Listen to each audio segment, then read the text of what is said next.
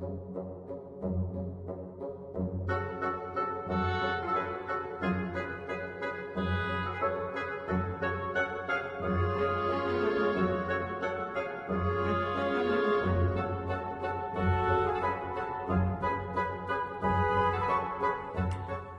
לא רוקדים בלט.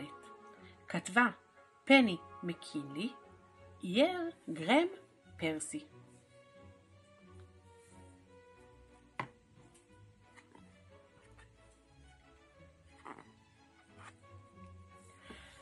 אזמרלדה קיבלה מתנה לחג. תיבת נגינה, ועליה רקדנית בלט קטנה מזהב. כאשר התיבה נגנה, הסתחררה רקדנית הנעה על רגל אחת. אני רוצה להיות רקדנית בלט, אמרה אזמרלדה. אחיה גיורא נהם לתוך דלי החלב שלו. פילים לא רוקדים בלט, אמר גיורא. באמת גיורא? אמרה אמא. אסמרלדה קשרה לה קשר בחדק. אני רוצה להיות רקדנית בלט. אמא נאנחה. Oh, טוב חמודה, אני אברר מחר איפה אפשר ללמוד בלט. למחרת צלצלה אמא לבית הספר לבלט. היא תצטרך בגד ריקוד, אמרה המורה לבלט. ורוד, ונעלי ריקוד, ותהיו כאן בשעה שש בדיוק. האיש בחנות בגדי הריקוד נראה מודאג כשראה את אזמרלדה. אמא סלסלה את החלק שלה והשתעלה קלות. אמ, מידה לארג' אתה אומר? אפילו אקסטרה אקסטרה לארג' לא עלה על אזמרלדה. אזמרלדה קשרה לה קשר בחדק ורקעה ברגלה. החנות רעדה. מוטב שנלך, חמודה, אמרה אמא. בדרך הביתה הן עברו על פני חנות רהיטים. השלט בחלון הראווה צד את עינה של אמא. כיסוי פלא נמתחים לכל מושב בכל גודל. אה, סליחה, יש לך כיסוי כזה בוורוד? ביררה אמא. כן, היה כיסוי כזה בוורוד, והוא נמתח והתאים בדיוק. אזמרלדה יצאה בריקוד מרוב אושר, ונברשת החנות רטטה.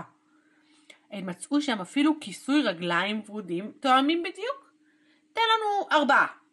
הריעה אמא בשביעות רצון. קצת לפני שש, הן הגיעו לשיעור הבלט. דממה השתררה כשאזמרלדה התגלגלה פנימה. מישהי צחקקה. איזה שמנה! לחשה מישהי אחרת. אזמרלדה קשרה לה קשר בחדק. תתעלמי מהן, אזמרלדה, אמרה אמא, ותתירי את הקשר בחדק, חמודה. זה לא מוסיף להופעה שלך. השיעור התחיל. אמא הידקה טוב את החלק שלה, טוב טוב מסביב לעיניה, וקשרה את, את אוזניה. ובום, התהפכה. המורה לבלט אמרה לה, תנסי להושיט את הרגליים האחוריות ולמחוא כפיים קדמיות. אזמרלדה, להתראות בשבוע הבא בנות. כעבור שבוע קיפלה אמא את אוזניה המתנפנפות מעל עיניה. היום בנות נלמד לנטר כמו סוס פוני, אמרה המורה לבלט. הבנות ניטרו וקיפצו במעגל. עכשיו בנות נתחיל לדהור, קראה המורה. צעקות וצווחות נשמעו כאשר אזמרלדה פתחה בדהרה. המורה גררה את הבנות מתחת לרגליה של אזמרלדה. להבא אזמרלדה, תסתפקי בניטורים, אמרה המורה. להתראות בשבוע הבא בנות. כעבור שבוע תקעה אמא התמים באוזניה ופתרה תשבץ. היום בנות נלמד סיבוב בתנופה, אמרה המורה. אבל כאשר אזמרלדה הסתובבה בתנופה, החלק שלה התהדק סביב צווארה עד שפניה נעשו כחולים. בפעם הבאה, אזמרלדה, נסי להחזיק מקל בחלק, אמרה המורה. להתראות בשבוע הבא, בנות.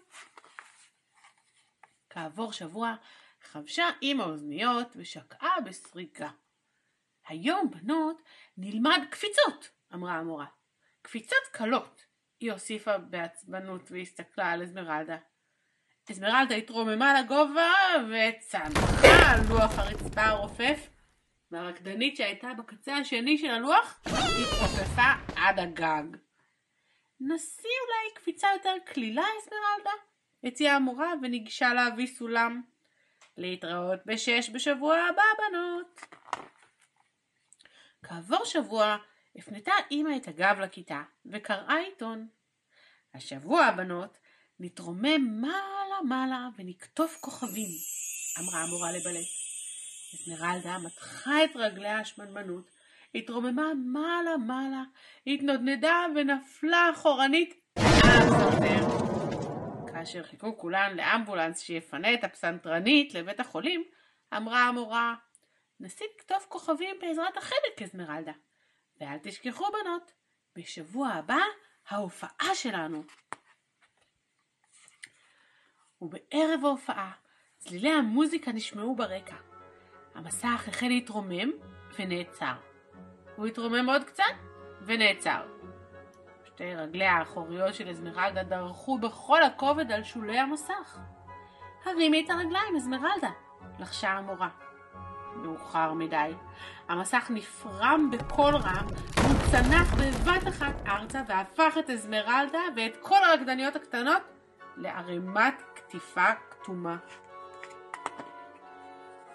ואז הגיח לו חדק מתחת למסך, ואזמרלדה התרוממה, ואט אט ממקומה, והניפה את המסך בחן מעל ראשה. הרקדניות הקטנות נצמדו לשולי המסך כמו כוכבים.